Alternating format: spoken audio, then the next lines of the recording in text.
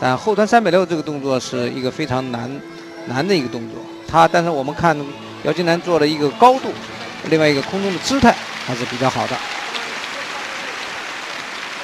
好，是美国队的微博。我们再看美国队的高低杠，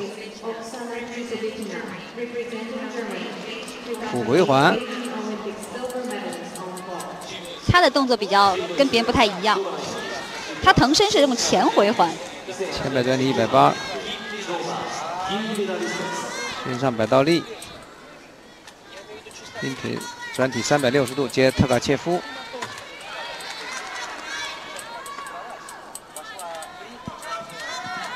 看他下法，他改下法了。嗯，他改下法了。啊，还是比较稳健，有一小跳。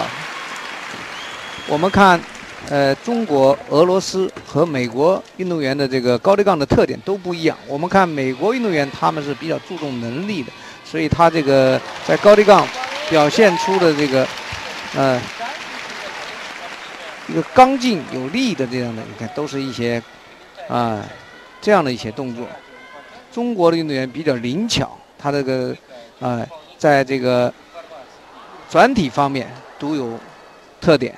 俄罗斯呢，他们在这个先天的舞蹈的训练，包括身体姿态的控制上，另外包括整个的编排的流畅性上，也有自己的呃独特的方面。高低杠是美国四个项目当中最弱的一项，他们的难度给大家介绍过。上场三个选手资格赛难度是在五点九到六点四，而中国的呢，基本上是三个人都能做六点七的成套。